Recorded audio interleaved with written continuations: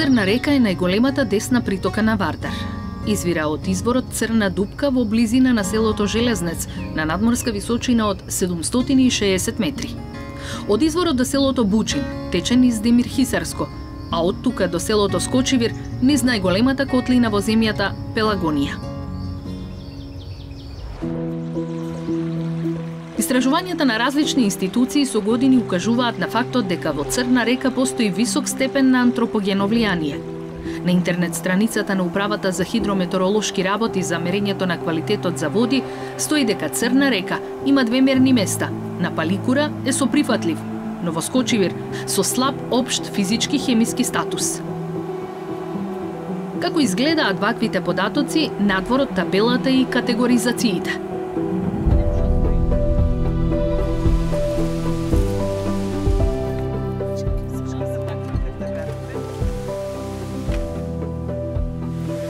Екипата на Разбис 3С се упати на терен заедно со експертите на УХМР. Прва станица Елешка река, десната притока на Црна река. Ке се земат примероци за да се испитаат макроинвертебратите. Сега вака бараме место каде што е погодно да се зима за макроинвертебратите, тогаш е поволно. овие примероци? Овие примероци се носат во лабораторија на детерминација, прво на чистење на пробите, детерминација, одредување на кои видови, родови, а, после тоа се работат на софтвер, резултатите и на крај се со разни пресметки се добива еколошкиот статус на ова мерно место според одредени биолошки индекси.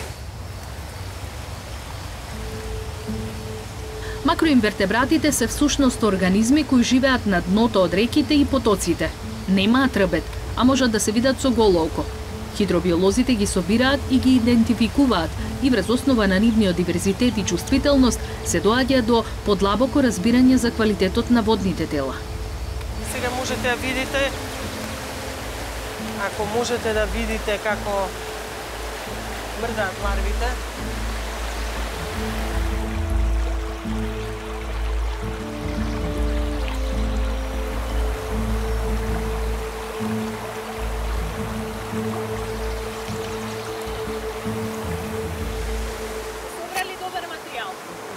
Да. Има? Добро, има добро материјал, да.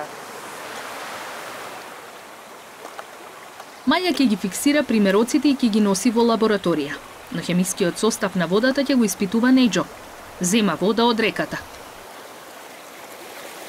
Ќе покажа? Значи какво, како што има, со што е загадена рекава? Хемис во хемиска смисла. Имате ли некакви очекувања? Од предходните сознанија, од предходните мерења со што била оваа река? Па значи од прилика ние сме веќе секоја година Има веќе од 10 години што одиме и знаеме од прилика која река со што е загадена. Има ли изненадувања некаде? А, Ретко. Ретко? Ама има. На полош или на подоб? На полош.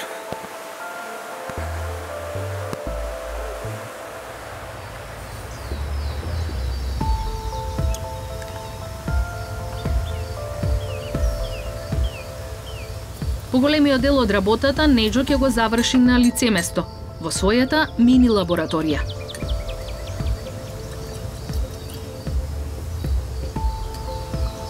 Неџо за некое време ќе знае со какви хемиски субстанци течат речните води, но процесот за одредување на статусот на реката го завршува Весна. Таа ќе ги бара речните алги. Значи сега ќе земаме примироци од фитобентос. Што значи тоа? Тие се биолошки индикатори за загаденост на водата, бидејќи се многу сензитивни на загадувањата.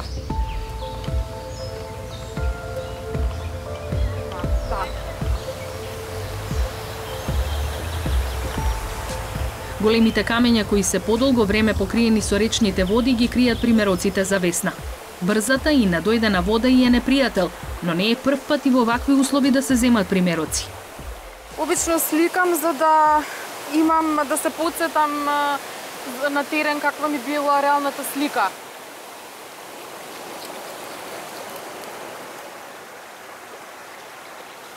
Значи ги собирам овие лигави површини кафени.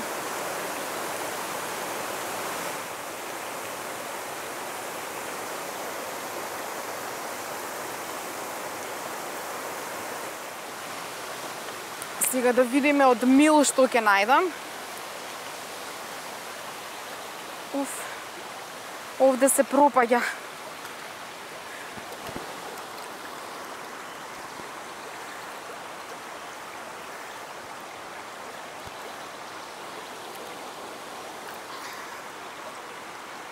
Еве може да видите ѓубре, значи најголем проблем по рекиве ни е и луѓето што фрлаат не, не, не е најголем, ама е еден од проблемите, сериозен проблем е. Значи на секаде фрлаат ѓубре. Предмети од домакинства, значи дури имавме случај кај Боротина, кај река Блато, видовме човек како фрла смет во реката. А, така да не е убава ваглетка секако.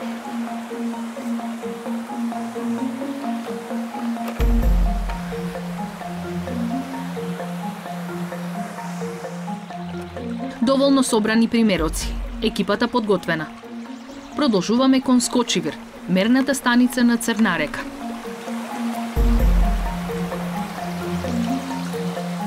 Како се приближуваме кон местото, мирисот е се појак. Смрди. Може би не прецизно како под микроскоп, но и носот е доволен за да измери дека водата токму тука не носи добри вести. Скочивир е местото каде што се спојуваат загадување од Битолско, Драгор и Прилепска река, како едни од најзагадените реки, носат доза црнила на Црна река. Есна, кои се карактеристиките за Црна река? Не може генерално да се каже а, статус за Црна река, само затоа што во различни делови од сливот различен е квалитетот, односно еколошкиот статус на водните каде тела. Каде е најдобар, каде е најлош?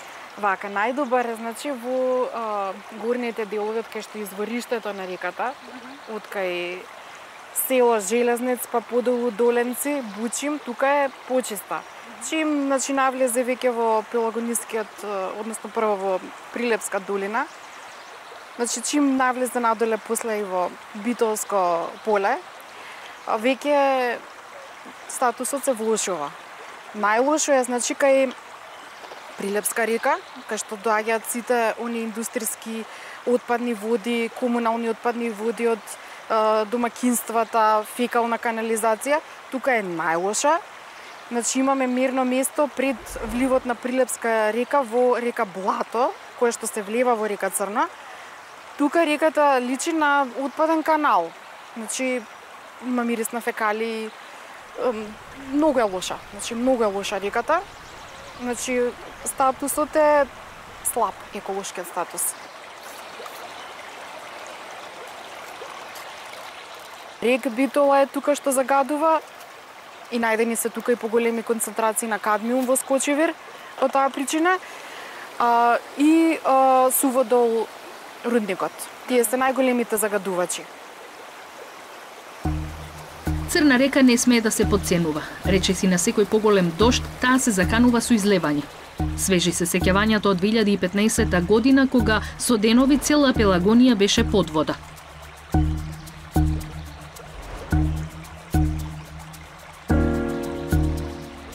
Климатските промени се жестоки, а човекот нема можност за ефикасно справување. Црна река е вода која што многу пати се покажала со голем ризик од поплави. Она што најмалку можеме да го направиме е постојано да го чистиме речното корито. Тоа ретко се случува, а Пелагонија е важна за тоа што не храни. Дожливата есен на момент го зголеми водостојот на Црна река, но засега тоа не е од загрижувачки рамки. Треба да се истакне дека освен природниот режим на течење, во сливот на река Црна е присутна и вештачко влијание. Тоа е пред се преку хидросистемот Стрежево, кој што е на резината десна притока река Шемница, кој што е изморено значаен за тој регион, посебно во поглед на наводнувањето.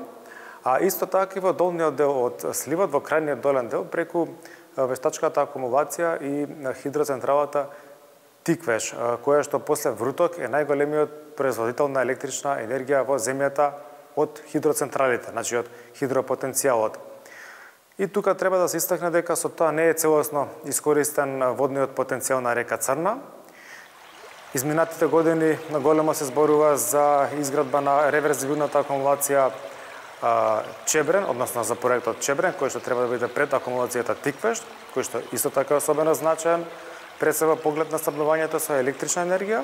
И оно што уште нешто сакам да го дополнам е тоа дека сливот на река Црна представува меѓудржавен слив, затоа што преку делот сливот на река Елешка, кој што се наоѓа во Република Грција и се влива во река Црна, како и делот вкупниот слив на река Вардар, односно Егејскиот морски слив, така што сметам дека за посеопфатно анализирање на протечните количини и управување со водите во сливот на река Црна потребни се меѓу државни активности и меѓудржавна координација.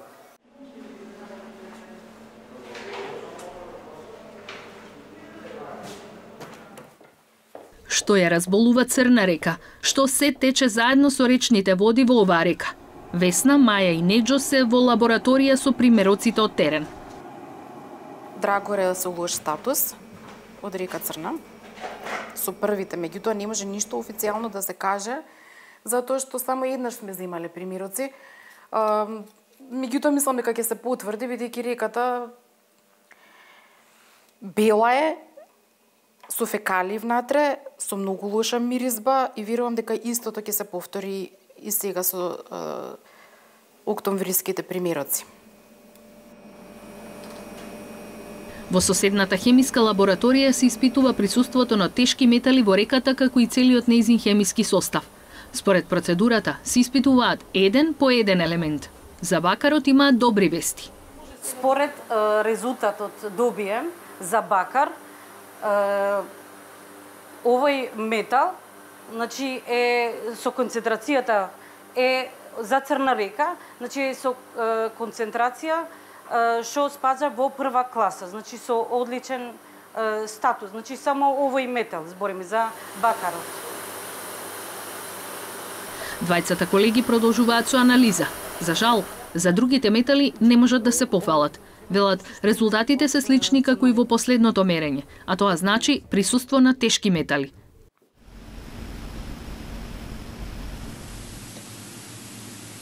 Работно е и во лабораторијата каде што се испитуваат макроинвертебратите. Присуството на вакви организми го обојува еколошкиот статус. За црна, во Скочибире, слаб. Е, ова се табелите, ова сакав да ви покажам, со еколошкиот статус. Тоа се тие еколошки статуси кои што ги одредуваме преку софтверот според употребувајќи ги биолошките параметри, биолошките индекси.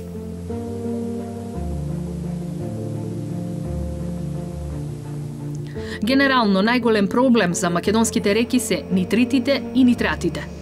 И според нивното присуство, повеќето речни води биле во трета или во четврта класа, додека според кислородните показатели и според тешките метали се задржувале во првата и во втората класа.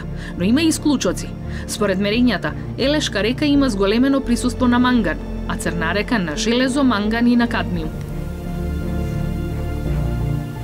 Редовните мерења на УХМР и понатаму ќе се запишуваат на интернет страницата, со надеж дека токму тие податоци ќе ја подигнат свеста дека со реките мора нешто да се направи.